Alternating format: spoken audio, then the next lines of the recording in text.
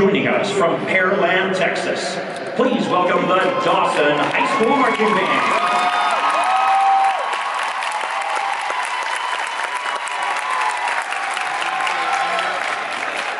Dawson High School show is entitled Unveiled.